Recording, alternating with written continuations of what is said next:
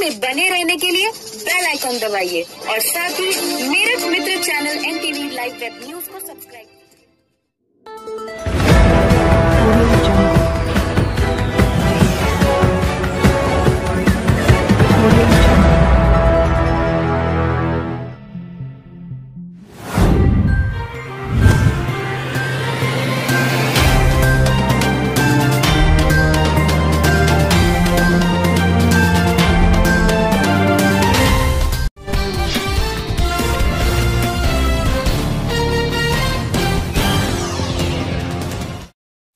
जय हिंद।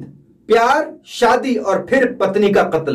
मेरठ के थाना सरदाना सुरूरपुर से खबर आपको दिखाने जा रहे हैं। मैं हूँ नवेद खान, आप देख रहे हैं Meerut Mitra channel N TV live web news, हर खबर पर नज़र।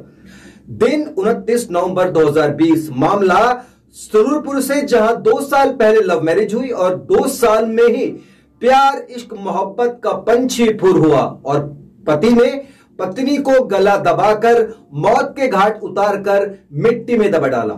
पूरा मामला अलीगढ़, मेरठ और दिल्ली में पनीर के कारोबार करने वाले आमिर और उसकी पत्नी सिमरन से जुड़ा है।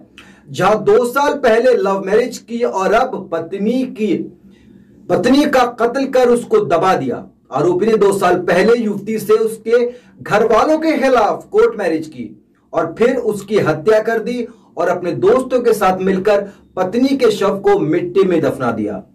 लेकिन कहते हैं क्राइम नेवर पेज एक फ़ोन कॉल ने पूरी घटना का खुलासा किया है। पूरे खेल का मास्टरमाइंड अलीगढ़ का रहने वाला आमिर है, जो इस वक्त दिल्ली में पनीर बनाने का कार्य करता है सप्लाई करता है पनीर का। साथ ही इस आरोपी की एक डेरी मेरठ के थाना सुरूरपुर में, सुरूरपुर के गाँव में भी है।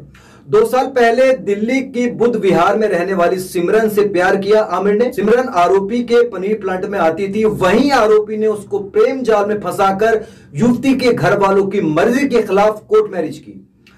युवती के घर वालों की माने तो आरोपी ने शादी के केवल छह महीने बाद ही लड़की को दुखी करना, मारपीट करना शुरू कर दिया था। और सिमरन को अकेले छोड़कर हर्रा में अपने प्लांट में रहने लगा था। लड़की के साथ वाले एक्सेप्ट नहीं करते थे कि नहीं हमें रखूँगा किस जगह किस जगह तक का था लड़का?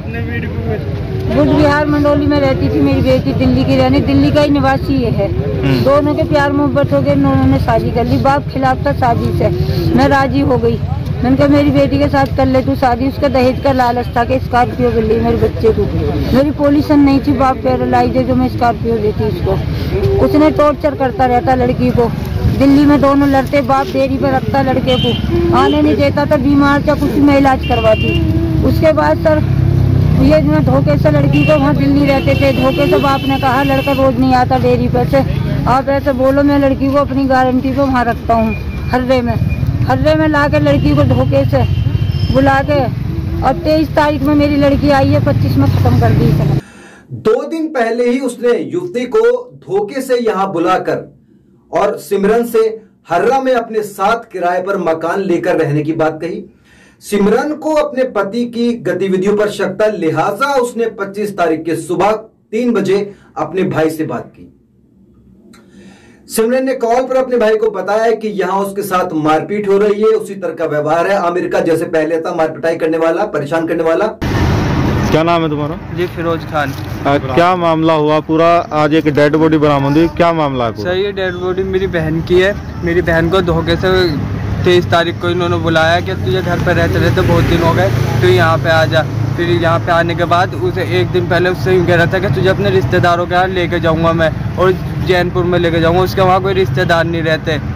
फिर रात को मेरी बहन ने शायद उसे कुछ पता चल गया था, कुछ तो तीन बजे मेरे पास कॉल करी थी, उसके साथ मारपीट कर रहा था बहुत ज़्यादा। उस कॉल के बाद सिमरन का फ़ोन स्विच ऑफ़ हो गया।